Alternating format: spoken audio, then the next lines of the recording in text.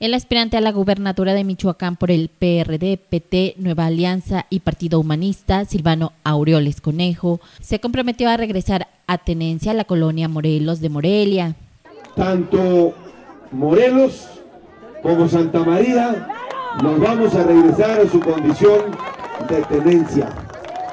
Quien sea el presidente municipal de Morelia, quienes sean los regidores, van a tener que cambiarle el estatus jurídico, porque miren, haber convertido la tenencia Morelos en una colonia, como lo dijo el compañero Martín, el jefe de tenencia, es quitarle derechos a los ciudadanos. Y no estamos de acuerdo con eso en un mitin realizado en la plaza principal de este lugar, ubicado al sur de Morelia, que fuera cambiado a colonia por el exalcalde priista Wilfrido Lázaro Medina, Silvano se mostró indignado de que no se haya tomado en cuenta a la población para realizar este acto, por lo que dijo enmendará el error en cuanto sea gobernador. Con información de Sandra Sáenz, informa Cuasar.